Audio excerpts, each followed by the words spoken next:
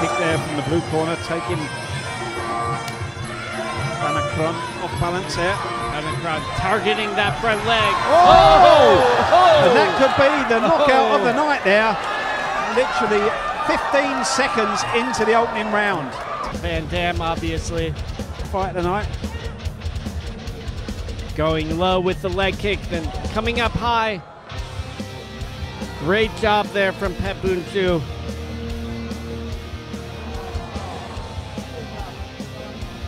Textbook high kick stoppage there from the blue corner. Still really pumped up here. Beautiful shot.